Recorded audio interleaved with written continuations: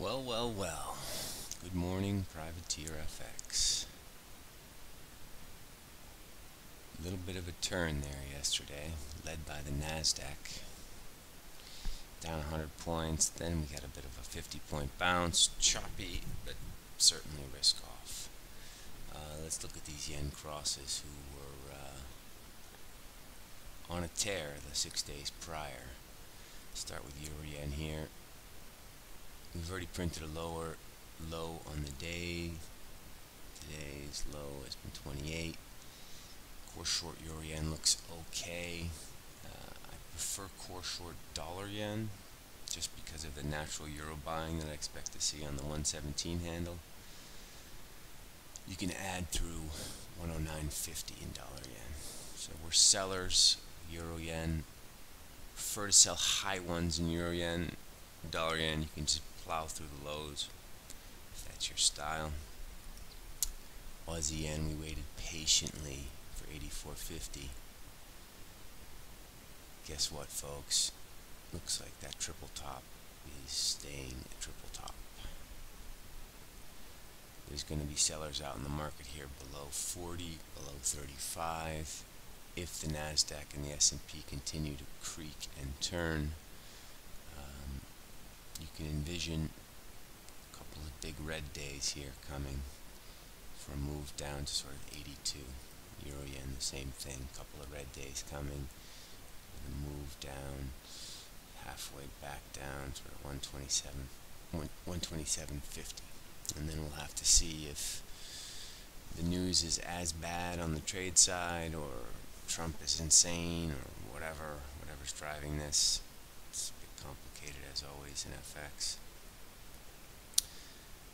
Euro yen dollar yen, Aussie yen.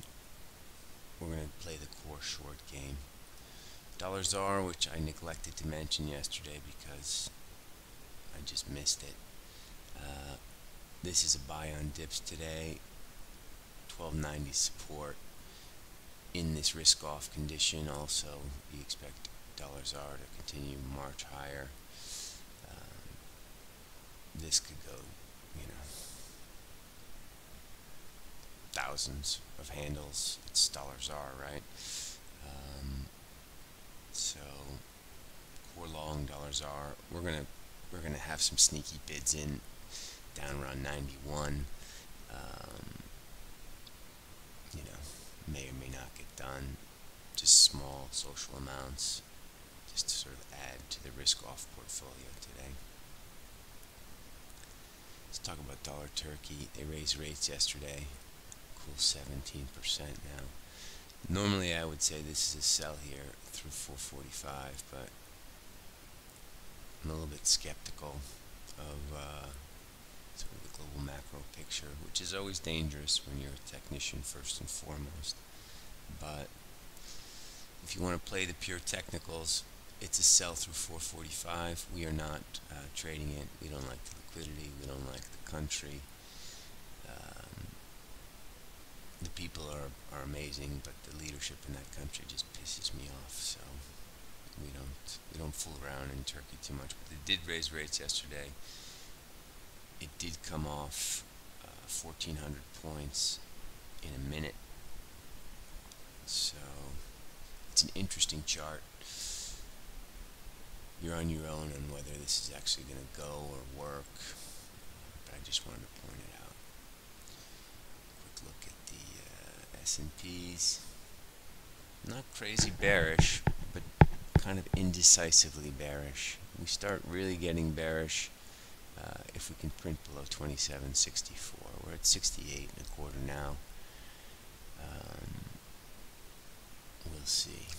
Nasdaq uh, was a little bit more bearish. Let's see where my Nasdaq chart is. Let's see how often I use that.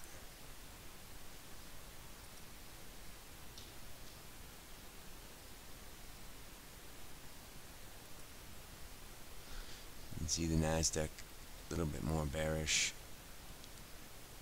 72.12 two days ago. 72.12 yesterday. So I guess sort of a double top. I have a feeling we were a little bit higher. No, 72.09. So bearish engulfed on uh, on the Nasdaq.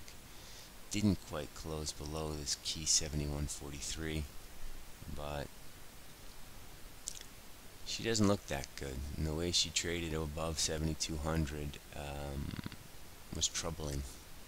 We had two attempts at it, and then we've had these uh, we've had these big red bars thrashing this thing lower. So we're bearish Nasdaq. I don't know if that makes sense. But technically you just have to be bearish. I mean, take a look at the chart. Big uptrend. Big throbbing red bar. Very similar to this one here. Um, knows. We don't trade a lot of NASDAQ, but um, looks pretty bad. So this is kind of going to be the bellwether. We're going to be watching the NASDAQ price action pretty closely. Price is below 71.10 today. Uh, kind of confirm the view. And let's see how we go on this uh, second Friday in June. Risk off today with a little bit more conviction. Good luck out there, people. Talk to the uh, New York